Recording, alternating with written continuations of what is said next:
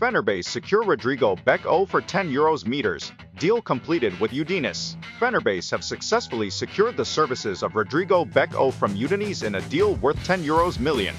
The Turkish club has finalized the agreement with Udinese, bringing the Brazilian defender to Fenerbahce. Becão's arrival adds strength to Fenerbahce's defense and enhances their squad ahead of the upcoming season.